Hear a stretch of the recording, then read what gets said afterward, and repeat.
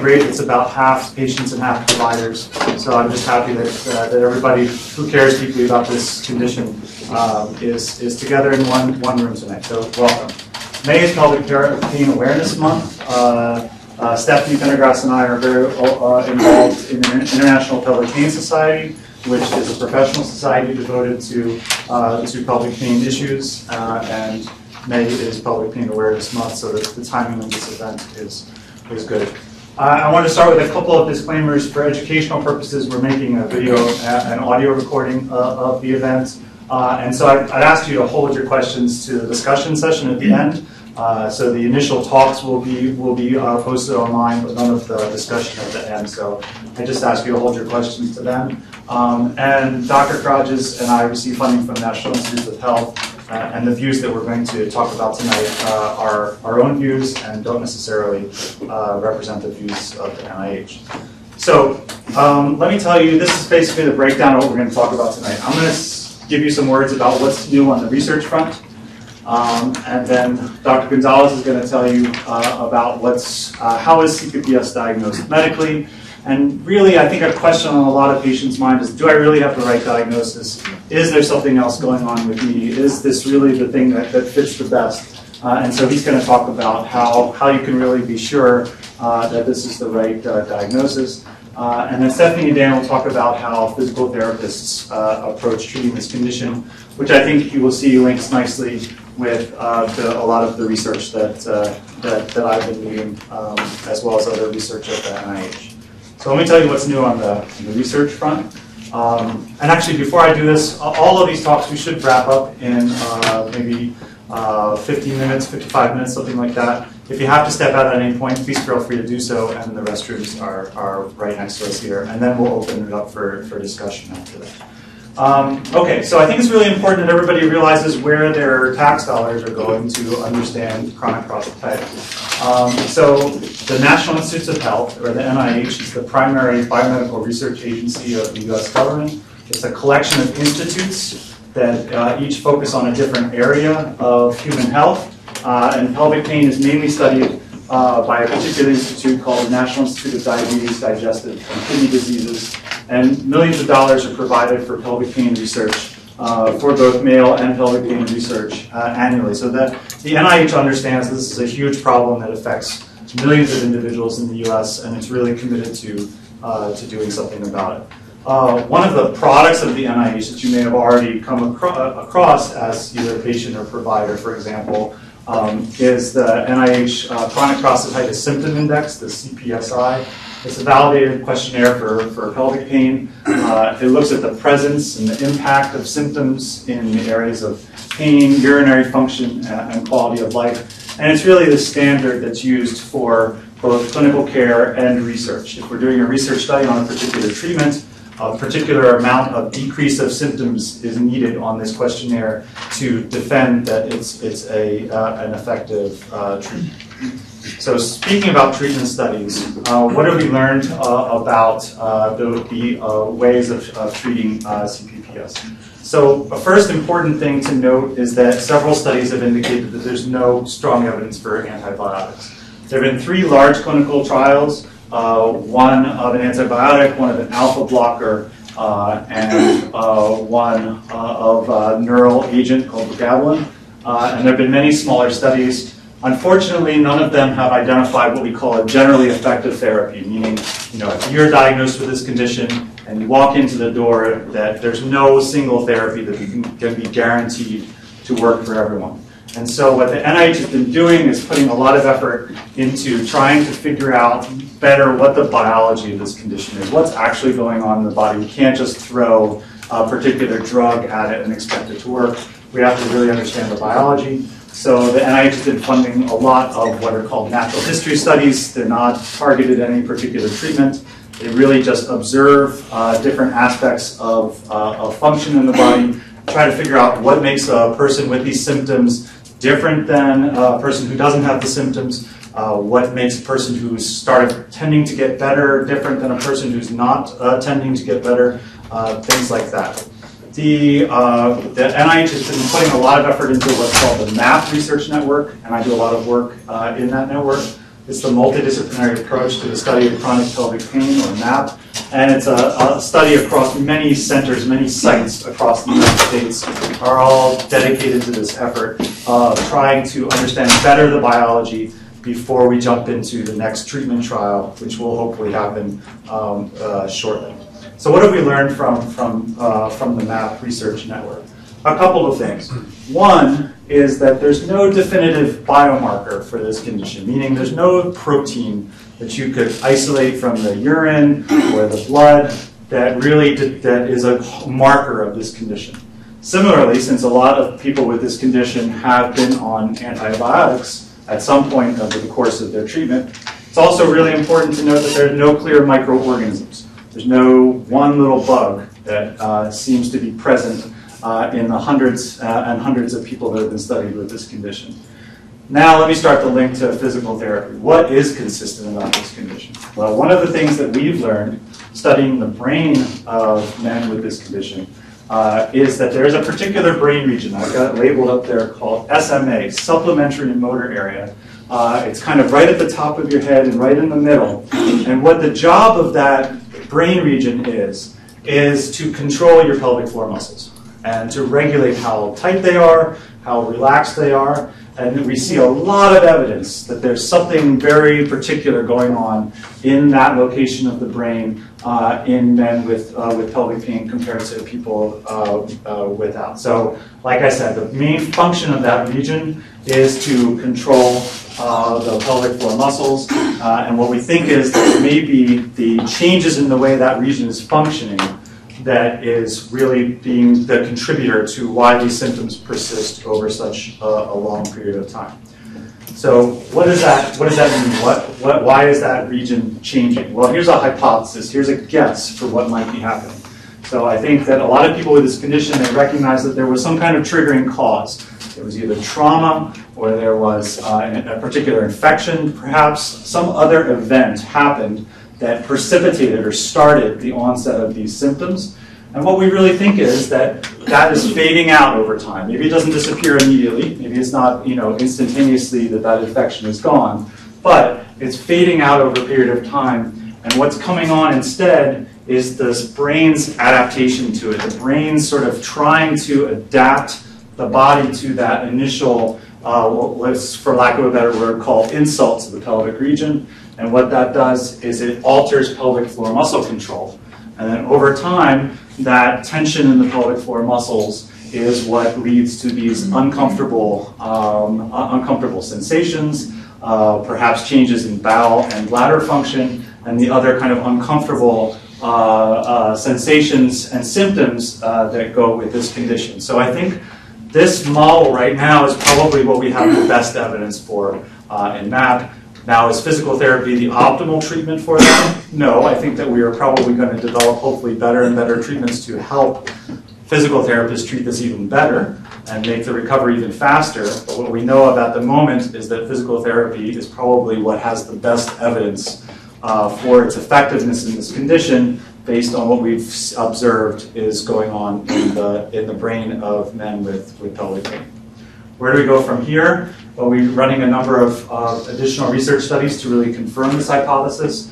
What you see in your packet uh, is a little bit of information about a study that I'm that's funded by the NIH that I'm running here uh, to look at how those changes in supplementary motor area actually do change pelvic floor control in men with chronic prostatitis. UCLA uh, is running a three-year study of men and women uh, with pelvic pain. Um, and I, given these two studies and other studies, I anticipate that we really are getting closer to understanding the biology of what's going on, and we'll be able to design new and exciting treatments. And those studies will probably start, I would um, imagine, in sort of 2019, 2020. So, I mean, I know that that's a little bit off. I know that everyone with this condition wants, uh, you know, a, a cure and a really great treatment right away. But I think it is exciting that we're getting closer finally uh, to something more concrete. And in the meantime, what this means is right now we don't have any generally effective therapies. We can't give you something that's necessarily going to work immediately. However, in the meantime, if you work closely with urologists, physical therapists, other care providers, it's not that there are no effective treatment plans out there, it's just that you have to personalize it, customize it, and I think figure out what works best for you. And uh, the other panelists will, will tell you more about how that works currently. So how can you get involved as a patient? Uh, if you're able to, uh, please participate in research studies. It's the way that we can learn more about this condition. And then I think as a provider, as much as you possibly can, uh, also get involved with the research uh, process. Standardize your treatments, get involved with research to use standardized assessments to know whether your treatments are working, uh, and gather as much uh, data about as many patients as you possibly can to, to guide our, our future research studies. Uh, so with that, I'll give it to Dr. Gonzalez, who will tell you about the medical management of this condition. Thank you.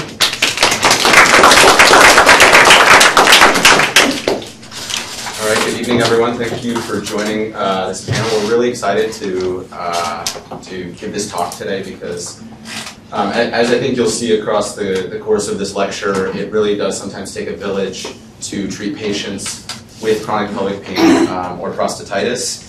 Um, and we need to know and understand more about the condition so we can better serve patients. So, um, just some background on uh, the condition itself. Prostatitis is the most common urinary tract problem for men younger than age 50, and the third most common urinary tract problem for men older than 50. So, it's, it's a very common uh, complaint that we see. It accounts for about 2 million visits to healthcare pro- providers in the US each year. Chronic prostatitis, chronic pelvic pain syndrome, which is primarily what we're focusing on tonight, affects 10 to 15% of the US male population and um, it can occur at any age.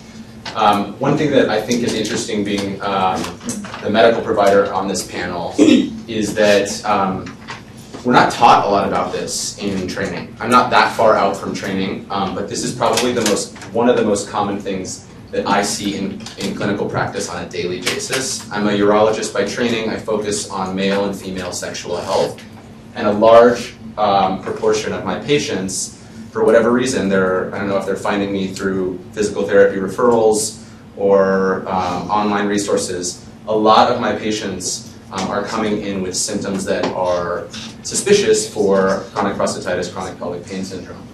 And most of them have seen not one but multiple providers. Most of them have been placed on weeks, if not months, of antibiotics, um, and really not seen any, any symptom improvement and they're frustrated, and if it's affecting how they urinate, or how they move their bowels, or certainly if it's affecting their sexual function, it's taken a huge toll on um, their quality of life um, and their psychological well-being. So that's sort of how I receive them, and then have to then um, slowly unpack what the issue is and work with um, other providers who, who sort of focus on this space. So it's it's a really important thing that we're doing here tonight, starting this conversation, and hopefully uh, we'll continue this. But I just want to go over briefly um, the NIH classifications of prostatitis. Uh, so it is split up into four different categories. Category one is known as acute bacterial prostatitis.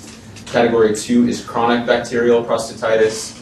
Category three is chronic prostatitis slash chronic pelvic pain syndrome and that is further divided into type A, which is inflammatory, and type B, which is non-inflammatory, and category four is known as asymptomatic inflammatory prostatitis.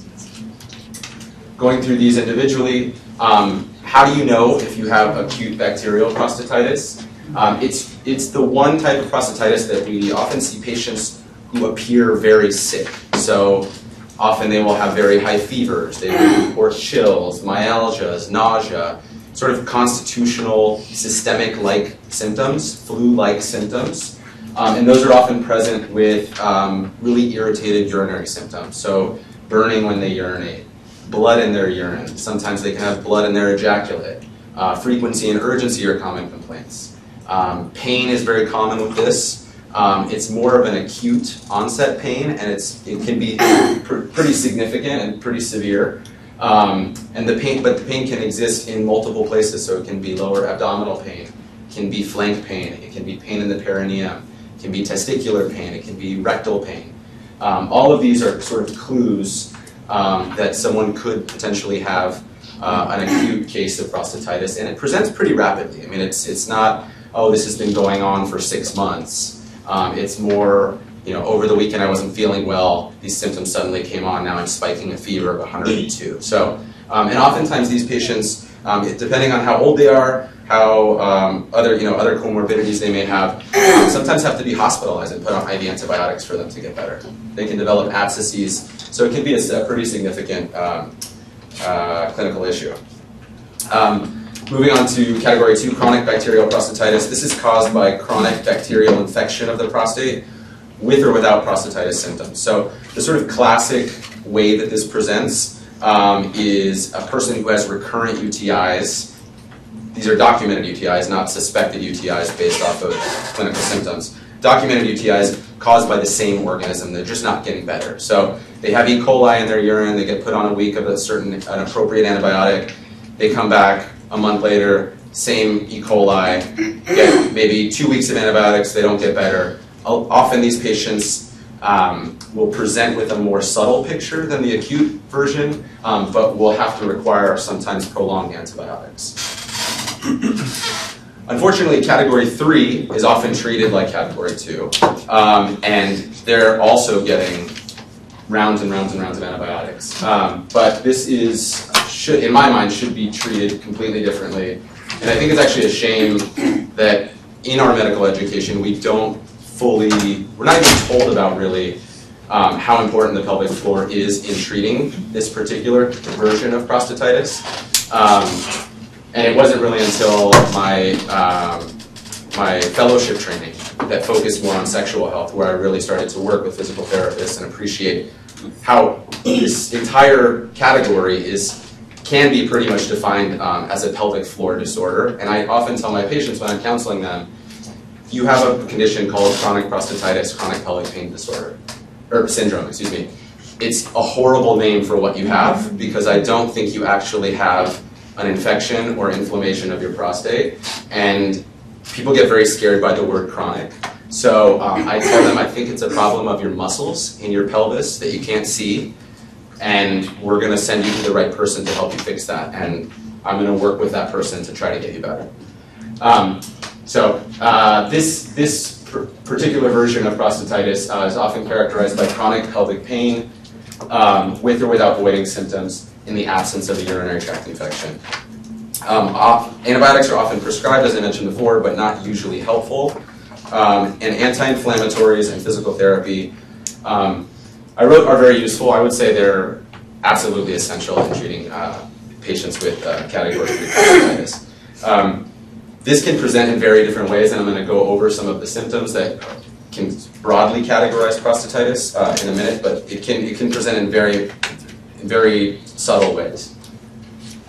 Lastly, asymptomatic inflammatory prostatitis is just prostate inflammation in the absence of symptoms. This is essentially an incidental finding on either a biopsy that someone may get for um, uh, elevated PSA, or maybe they underwent a bladder outlet procedure where certain you know pro- prostate tissue was resected and it's found on histology after the fact, or patients who have fertility workups who get a semen analysis and white blood cells are noted uh, in the semen sample, but they, in the absence of symptoms. This is not something, unless, it, unless they're trying to get pregnant and having trouble, that we typically treat because um, of the absence of symptoms.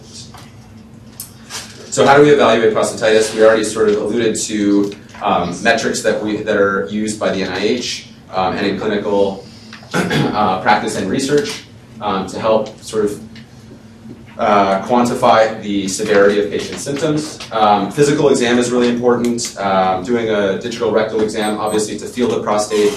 Things that are found um, uh, on the prostate assessment can be helpful to distinguish between acute bacterial prostatitis and some of the more the uh, category two and category three kinds of prostatitis. Um, in acute prostatitis, often the the prostate will feel boggy, is the classic description um, and be exquisitely tender to the touch. Um, that would be a, um, a clue that someone may have the acute bacterial version of prostatitis. Um, I will typically do a urine analysis and send that for culture. I do that even for patients who have had symptoms for six months. It's an easy test to do. It's an easy thing to rule out. Um, uh, so that you know that's generally recommended. Um, there's something called the two-cup test, which is essentially a urine analysis and culture done um, pre and post prostate massage. Um, that can be helpful in distinguishing the, the chronic versions of prostatitis. Um, imaging is, is typically used for acute bacterial prostatitis or refractory cases. Um, say if you're treating someone with category 2 chronic bacterial prostatitis and they're not getting better, you'd want to assess for uh, an abscess of some sort.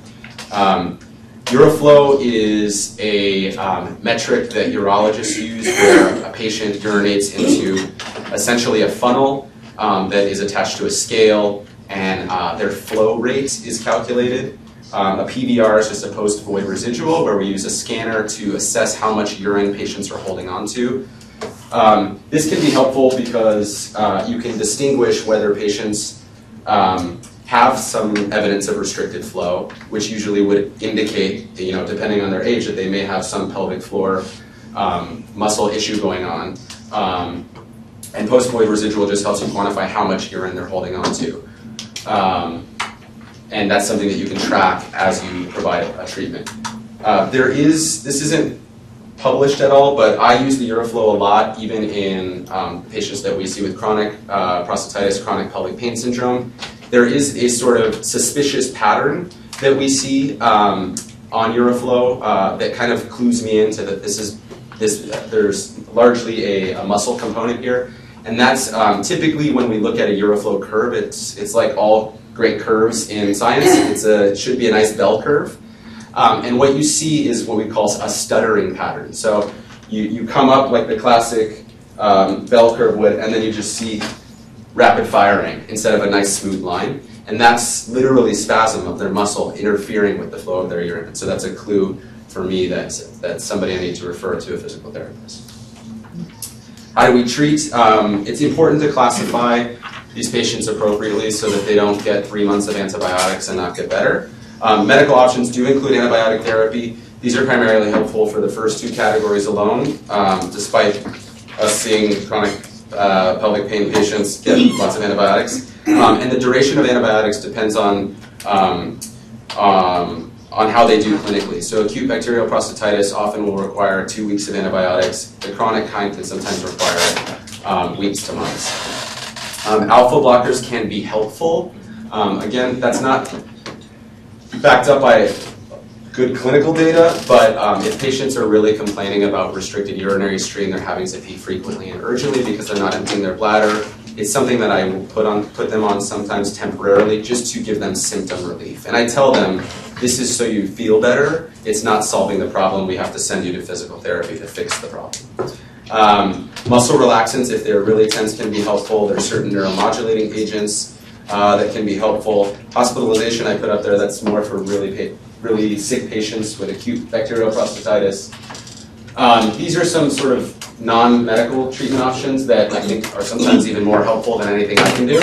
Um, physical therapy, uh, psychological counseling, as I mentioned, for those patients who have had this for um, months and sometimes years, who it's really affected their entire life. Um, a lot of times it's helpful for them to have someone to talk to um, about how, how um, what a negative impact this has had on their, on their overall life. Um, stress reduction, acupuncture, um, avoiding bladder irritants is sometimes recommended. Uh, I think that has limited efficacy. Uh, some more classic treatments that we're taught as urologists are things like sitz baths. Um, Botox can be helpful in patients with uh, pelvic floor dysfunction, and surgery I put up there just as a treatment for patients more with the, the abscess complications and such. Um, I just want to briefly mention the UPOINT clinical phenotyping, which is um, gaining favor in the world of prostatitis. Um, it allows for uh, us to profile patient symptoms into six broad categories to allow individualized and often multifocal therapy. So this is where I think um, the UPOINT is really helpful. It, as I mentioned at the beginning part of my discussion, it really does take a village.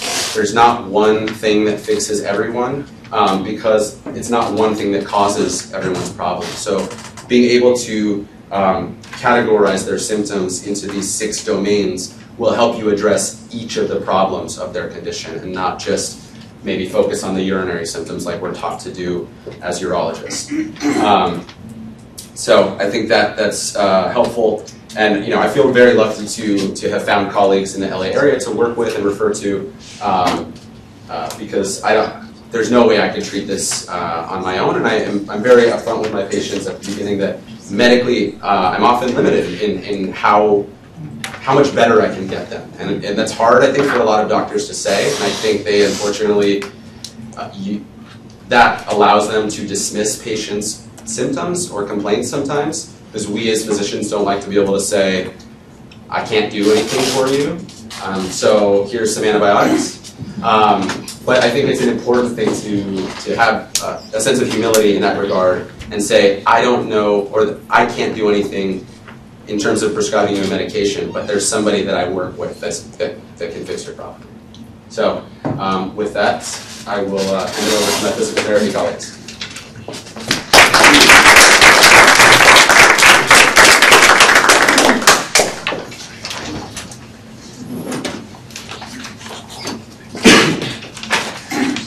My Daniel Kirages, I'm a physical therapist here at USC.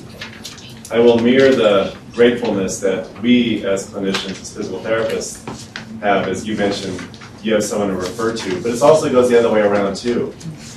Because this is not a great, like, direct access population, right? Somebody comes into physical therapy necessarily, and we may have, they've come maybe on their own, or they've actually come through another channel of, of medicine and haven't really been examined thoroughly. And so to be able to identify physicians who can help you as a physical therapist if someone needs to be screened or you know go through the diagnostic process, it's very useful to have folks as yourself too, Dr. Gonzalez. So with the differential diagnosis in mind that um, you just heard, really in the absence of any sinister pathologies ongoing, really comes down to is the prostate really involved or is there like a muscle function issue that's involved? And historically, it's been most urologists have the muscles like really low on their list of potential differentials. And so now, you know, it's been climbing in regard to something to think about. And That's where that UPOINT is helpful because it's on the list. It's one of the things to identify are the muscles involved or is it just something going on with the plumbing itself? So, for those who are experiencing the symptoms, can it really be my muscles? Like, is, are my muscles really something that might be involved here? And so we believe that it truly can be, or at least the muscles are a contributor to the symptoms that someone's experiencing. And so we can look at some evidence. What is it? What is some evidence for that? We could say that there's some evidence that shows that pelvic floor muscle tenderness noted in 51% of patients with CPPS. Yet tenderness in those same locations, it's only about 7% in those that don't have the symptom. So basically someone can say, well, if you poked me in those areas too, I, that would hurt, wouldn't it? But this is evidence here. This was in 2008. There was another study that was very similar to this. I think it was in the late 90s. That showed those actually with CPPS tend to have specific muscle tenderness. And if you were to take someone who did not have the symptom and poke in those same areas or palpate, typically they wouldn't. So it's not just the fact that it's a sensitive area, it's the fact that there's something different going on with those muscles potentially in those people with the issue than those without. Another thing would be that when you do palpate or touch the muscles in those specific areas, they can actually reproduce the actual symptoms that someone's experiencing. So perhaps touching the muscles in the perineum, which is the location right between the legs, may trigger someone's penis pain. Or touching the muscles that are around the anus may trigger, let's say, like the anal pain, without even getting close to where the prostate gland is itself. So that just shows that perhaps musculature is involved and it's not something deeper within the urinary system only. Another thing would be taking a look at, well, does the muscle move? And so now there's some great imaging with sonography, ultrasound, where you can actually basically get a little x-ray vision, so to speak, of what's going on internally. It's a little bit more grainy than we would like, and maybe hopefully in the future it becomes a little bit more clear, but we can still see what's actually happening. And what they were looking at is you look at the base of the bladder. So when someone were to, if you can see the base of the bladder, and when someone contracts their pelvic muscle, the base of the bladder will lift. There's a certain amount of motion that the pelvic muscle goes through. Well, those people who do have CPPS tend to move significantly less than those people who don't. Which potentially we could, that might speak to, we can hypothesize that maybe because those muscles are already active, there's not a lot more room for them to actually contract. For example, if you had a fist that's not closed all the way, but you know fairly closed, you say, well, how much motion can my fingers go through if my fist is like this versus having it a little bit more open, well, you'll see more motion actually happen. So that perhaps is some evidence that yes, muscles might be involved as well.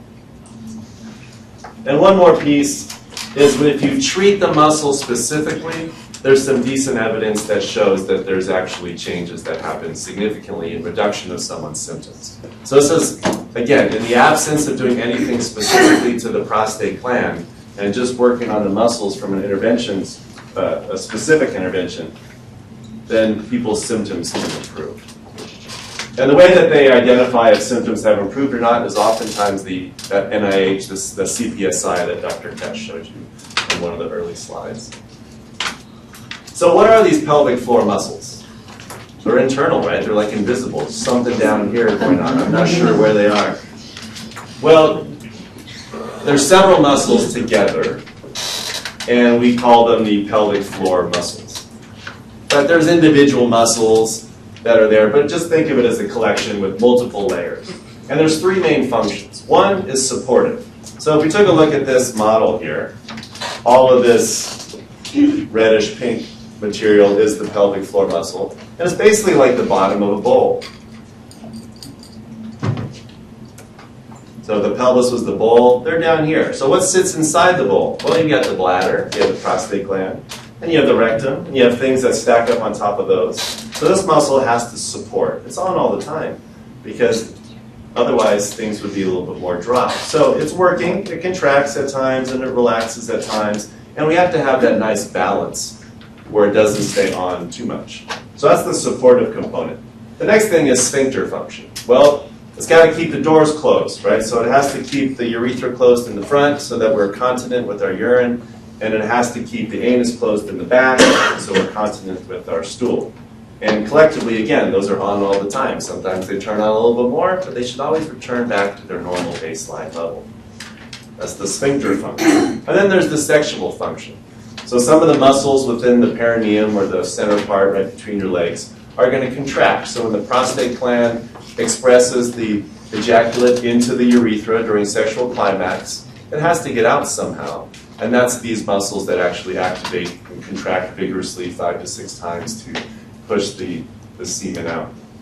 The other thing too is those muscles also work for us as men when we're urinating, because at the end of our urine stream, when our bladder stops, we still have urine in the line, so we have to contract our pelvic floor to clear the line so we don't dribble. And so that's the three functions of the pelvic floor. So you saw here on this model, but looking at it here on the screen, prostate gland is here, and the muscles are right underneath there. That's one part of the pelvic floor muscles. They make up maybe the sphincter component, and other muscles around there. There's also the anal component. There's also the part that's a little bit deeper, which is more the levator ani, the supportive function. And then you have these muscles through these, this area called the perineum that have to contract to push out the ejaculate or push out the remaining urine. This is another closer look of the perineum itself, where again you can see the anus area here, you can see the this area called the bulbospongiosus, that's the one that contracts around the urethra, the deeper layers. It's very, it's very intricate. Here's another image, this is looking from the front. The bulbospon, here's the urethra. If someone had a penis, it, this, it would be coming out this way. And there's the urethra that goes through it. So this is the muscle that contracts to push out the urine, the last little bit, or actually the ejaculate, and then the other muscles that are around it. So what are, how does the muscle get its input, the signal? How does it know what to do? Well, there's a nervous system, right? And those nerves tell the muscle to turn on, tells it to relax. Basically, it gives it the, it plugs it in. And the main nerve is the pudendal nerve, which basically comes out of the second, third, and fourth poles of the sacrum here in the front. And then it becomes this pudendal nerve. And then from there, it has to go through different tunnels, behind some ligaments, over some muscles, between. So you can see it kind of weaves its way from the sacrum down and around. And then from there, it branches off. And there's branches that go towards the rectal area. There's branches that go towards the perineum and branches that head out towards the penis and the testicles. Here's just another image. This is the perineal view, where you see pudendal nerve here, branches towards the rectal area, branches towards the perineum, center point, and then those branches that run up. So a lot of input, a lot of a lot of ways for muscles to maybe entrap a nerve, a lot of ways for the, the, the pain signal to be in an area that's activating the body map in the brain based on how intricate the nervous system is there and the muscle system. So what are the symptoms when someone is experiencing CPPS? Well, they can be a full range, a full spectrum. Some people just have a kind of an annoying level, and some people have a very severe. Some people have the whole spectrum. It just depends on what they're doing as to what triggers their symptoms, on and off. Variety of patterns. It could be just at the anus. It could be in the perineum. It could be in the penis. It could be right above here, the suprapubic area. It could be kind of inner thigh area. There's a lot of different ways that people might express what they're feeling in terms of the location of the symptoms that they're having. It's not just a, this is pelvic pain and this is the way it presents. Everyone may have a little different component, different intensity, different location. Their descriptions might be a little bit different, but there's definitely a pattern behind it. So some may say it feels like a knot between my legs, or it feels like I'm sitting upon a golf ball. The tip of my penis burns. That might be with urination, might be with ejaculation, might just be with sitting. I have pain after ejaculation, burning feeling in my growing area. These are just samples. These are things that we as clinicians hear patients describe. Now, this isn't all of them. Of course, people can have others, but these are common ones, or at least the general theme of what my people, people might be experiencing. What brings them on? Oftentimes sitting or physical activity. Emotional stress is one as well, because there's behavioral components to this. Because the nervous system taps in to the brain and how we're feeling and the mood we're in and all those different things that can help to sensitize the nervous system. Bowel or bladder function, holding or even voiding. And then, of course, ejaculation, what we've talked about. Other symptoms that might overlay this urinary frequency, or the inability to relax well, so the stream of the urine is a little bit more impeded. Or how about the fact that they don't relax well, maybe anteriorly, maybe they don't relax well posteriorly, so the stools are thin, fragmented, having difficulty. Maybe have to strain a little bit to allow their stool to exit. So those are the, what is the pelvic floor, what are the symptoms, but why is it difficult to find a physical therapist who knows about CPPS? Why is this challenging? Well, one of it is that there's minimal exposure in physical therapy school. Curriculums are jam packed. We as physical therapists work with patients of all kinds in the hospitals, in the sports facilities, in wherever. We are such a broad profession, which is great, but it's also not so great because you basically graduate as a basic knowledge of many different things. Here at USC, we have two hours first semester, two hours in this first summer, so that's four. Then we have another four hours, let's say that's eight, and then another two. We probably have 12 hours of, of pelvic health. And you take that and you divide that between incontinence issues, um, pre and postpartum issues, and pelvic pain. And so it's basically an exposure. Someone is not graduating with the ability to maybe go right away and start working with complex cases of those with pelvic pain. The governance in our American Physical Therapy Association of pelvic health falls within the women's health section.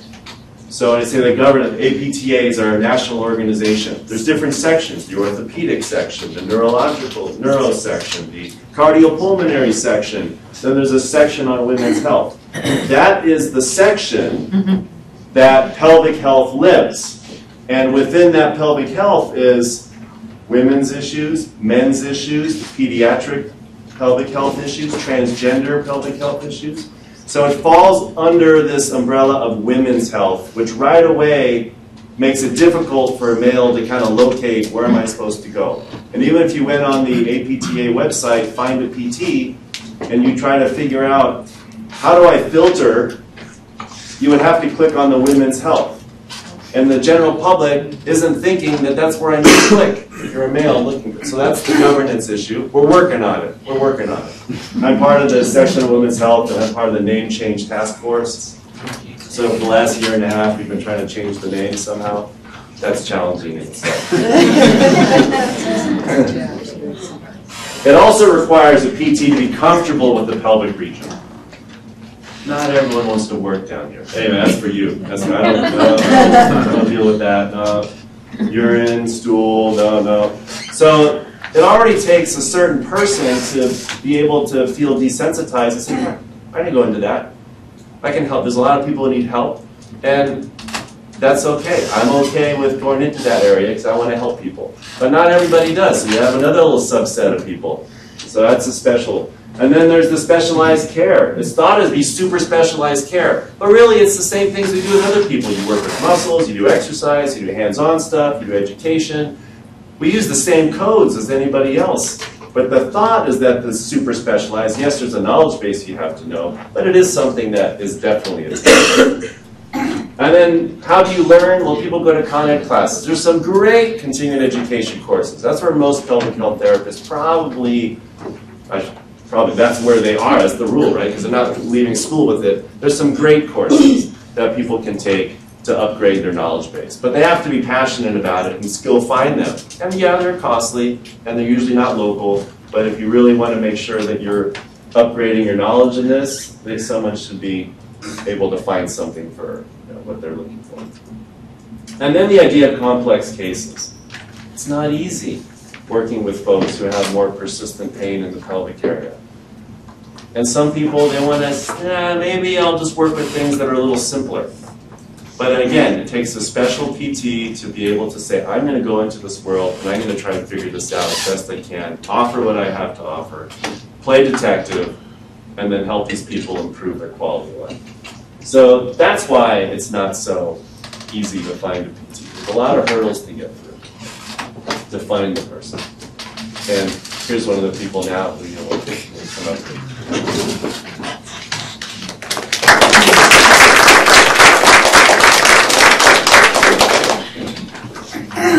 Okay, so feel free to move about the cabin. You guys need to get up. I know we've been sitting for a little while. Um, but I am honored to be here tonight to talk about pelvic floor physical therapy and what it actually looks like. Because what you're hearing so far is when people present with these urinary issues, erectile dysfunction, perineal pain, it doesn't register physical therapy for many people. And what Dr. Kutch is doing and Dan Kirages here at USC is so important with the research that they're doing. I've been working with men and women with complex pelvic pain specifically since 2001. I'm going to tell you what I saw. Between 2001 and 2005 or 6, people were getting very excited because all of a sudden pelvic floor muscle dysfunction was a thing and a reason why their surgeries weren't working and why men and women did have urinary bowel bladder disorders. Then, somewhere around 2004, pudendal neuralgia became the hot topic, and everything was the pudendal nerve.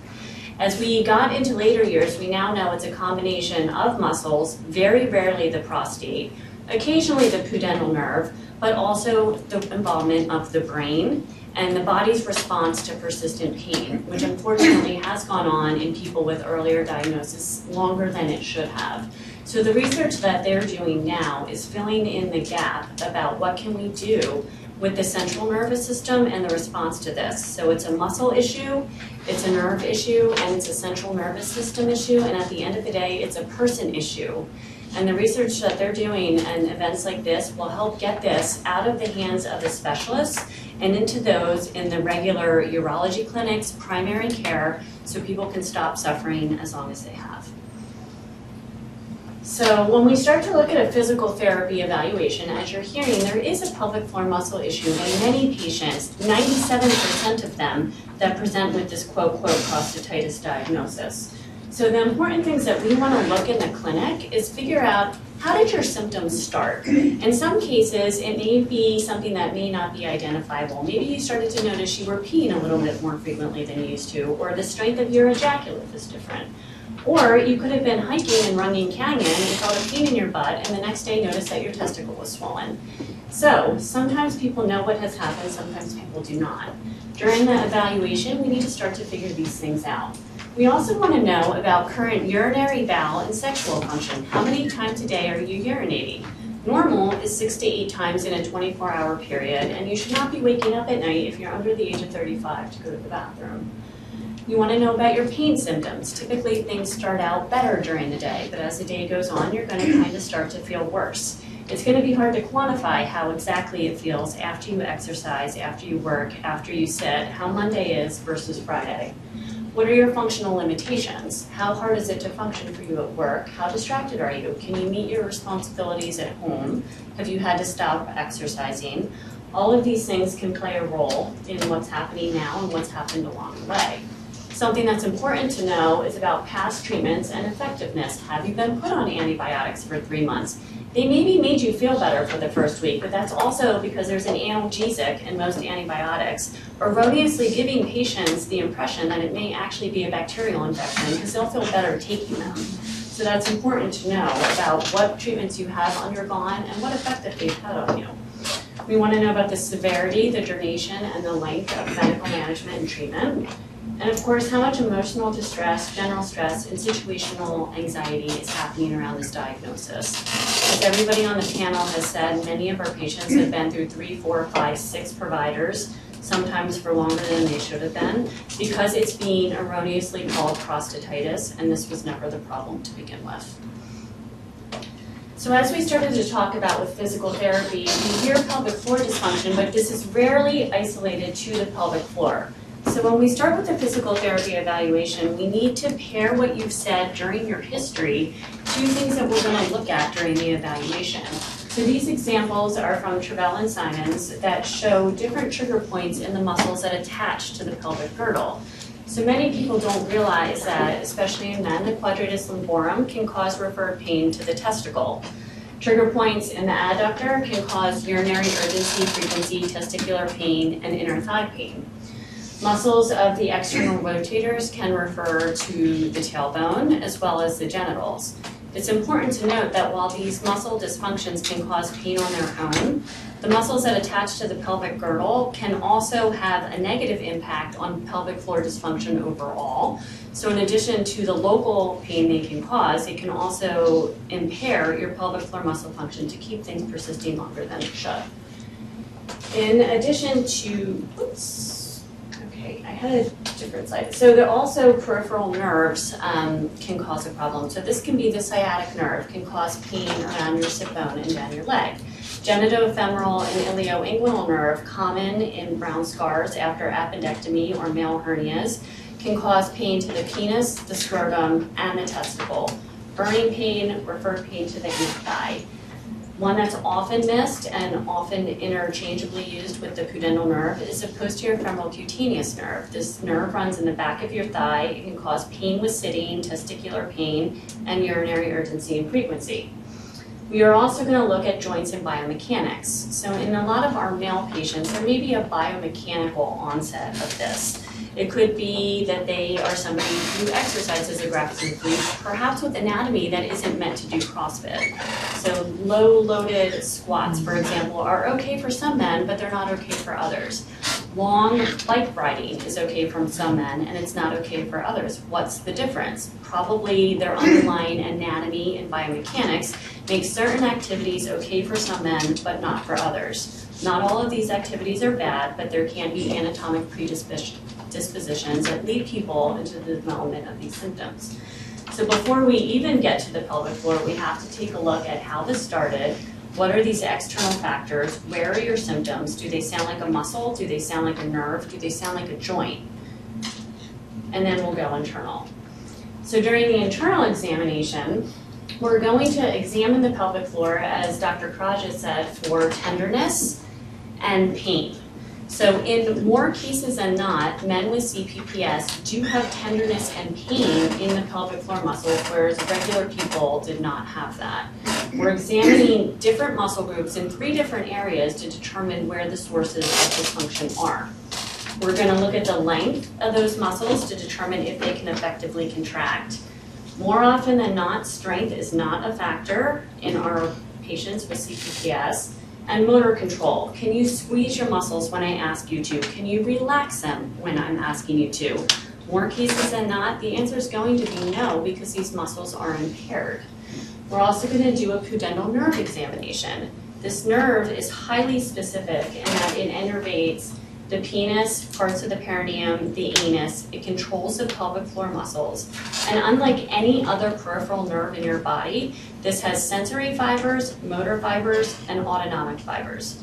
So just like we breathe without thinking about it, our pudendal nerve is helping us maintain continence or causing ejaculation without us thinking about it. But if we decided to override it right now by squeezing or stopping your urine stream or trying to allow a bowel movement to evacuate, you can override pudendal nerve function, but also it just exists, which makes this disorder and pelvic floor dysfunction something that takes a little longer to treat than other parts of the body because it's always active and these muscles never relax. We can also evaluate the coccyx while we're doing the internal examination to determine if there is an issue at the coccyx, but I would say again, more often than not, that tends to be a symptom and not a cause. So the important thing that physical therapists are gonna do after we take the history and do the examination is really link together what the symptoms are, what our objective findings are, and how did this happen? So we're gonna help the patient identify how they got to this place and basically what we're going to do to fix it. We also need to know what other overlapping issues are a factor. There's often comorbidities. They can be structural, anatomic, biomechanical. They can involve the gastrointestinal system. Very rarely is there actually a urologic infection base, but it could be in a small percentage of people. And we wanna establish short and long-term goals. So short-term goals include things like helping our patient regain motor control so they are able to completely empty their bladder. A longer-term goal, which would probably be eight to 12 visits, is they have complete pelvic floor motor control so their urinary stream is never impaired. A short-term goal could be reducing pelvic floor hypertonus so there isn't perineal pain with sitting. A longer term goal would be our patient can sit for four to six to eight hours without a cushion, without perineal pain. We set small term goals in physical therapy tied to objective findings that we're trying to change and link them to long term functional outcomes that will help people regain their quality of life. So as we talk about the treatment, one of the most important things that we talk about is patient education and pain science. So recovering from a syndrome like chronic pelvic pain syndrome is very different than acute prostatitis where you're going to take an antibiotic and in two weeks this is going to be a thing of the past. What's important to understand is that this treatment progression for this is different, but it is possible. Clearly I have a lot to say on the topic. If you're interested, you can read Pelvic Pain Explained. But part of this is patient education, and often when people do have misdiagnosis and they're not getting better, they go to Google and they find that they've got this terrible disease that's never going to be treated. That's not the case, but a lot of people aren't getting the help that they need. So we need to educate people about what the proper treatment progression is. In the clinic, we're going to likely do manual therapy to help restore normal muscle tone decrease the pressure on the nerves, restore normal joint mechanics and function. We're going to support that with the home exercise program. The treatment duration varies. Typically, patients are seen one to two visits per week, especially initially for about 8 to 12 weeks. And based on the severity and the of the problem, there's going to be some variations with that. So once people get diagnosed, in an ideal world, you go to physical therapy, four to six visits, everything's fine, you're jumping for joy, this is over. This is not the case with chronic pelvic pain syndrome, but that does not mean that you are not going to get better. 17 years of experience with this diagnosis, there's going to be excitement when you finally find out what's wrong with you. There's gonna be, oh, do I really have to go see this person once to twice a week? You're gonna feel good, you're gonna feel bad, and it's gonna go up and down on hopefully a slow progression out. So I wanna spend some time talking about when you hit those hiccups. So when you start physical therapy and things are good and then maybe they're not, or maybe you start physical therapy and you can't tolerate it, period. There's often reasons why, and physical therapists are well positioned with the amount of time that we have with our patients, which is typically an hour, to help figure out why there is a treatment pickup. So sometimes there can be an unmanaged pain disorder, central nervous system hypersensitivity, inappropriate pain medications. There can be a peripheral nerve problem that isn't allowing tolerance of therapy. Sometimes the manual therapy is too aggressive. Sometimes the manual therapy techniques are incorrect. As Dr. Kirages has explained, there's a variation in experience and skill set amongst people who are trying to help this patient population, and sometimes you may not be with the right person. Sometimes the home exercises or lifestyles can be problematic. Things can be introduced too early or not early enough. And it's rare but possible that there can be pelvic floor or pudendal nerve damage through things like surgery or actual traumas. Um, we've seen unfortunate cases where the pelvic floor has been impaled from lawn ornaments and random things that shouldn't have happened. And in some of those cases, there is surgical decompression that could be necessary. More common is what happens when you plateau in physical therapy. You were doing a little bit better, but mm, now you're kind of not. The important thing is a differential diagnosis and to understand why persisting symptoms are still present. There can be faulty neuromuscular patterns. For example, if somebody works as a checkout counter and they're constantly doing this all day, well, they may be triggering their abdominal muscles again, that's triggering the pelvic floor.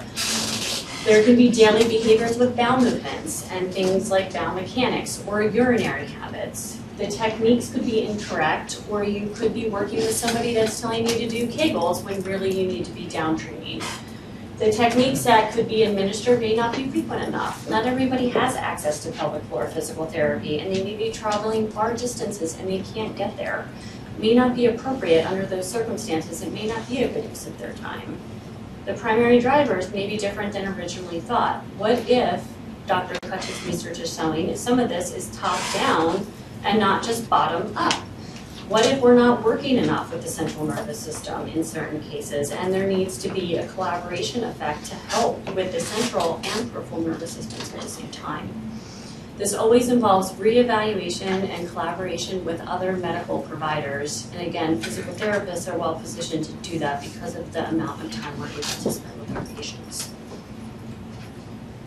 So in the back of our minds, we're always thinking kind of about a diagnostic algorithm, and this can involve physical therapy is only one portion of this bubble, as you can see.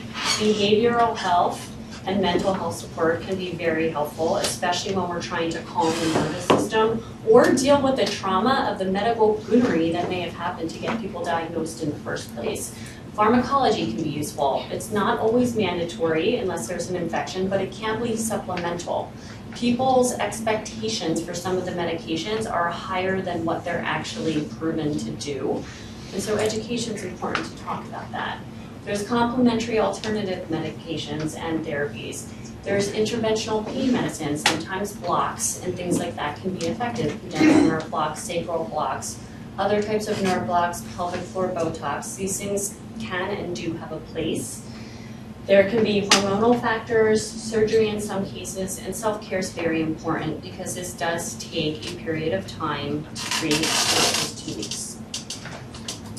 So with that said, I wanted to provide resources for how people can find a pelvic floor physical therapist. There's three different institutions that are listed here. The American Physical Therapy Association, the International Pelvic Pain Society, and Herman and Wallace Pelvic Health Institute is also ways to find a provider.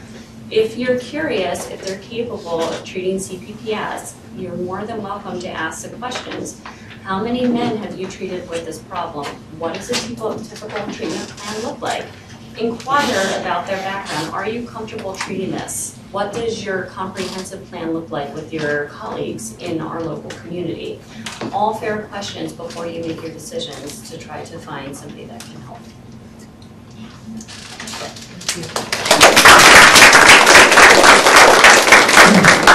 So that wraps up the presentations and can open it up for discussion. I hope the take-home message for everybody is that the science tells us that the pelvic floor is very important in this condition.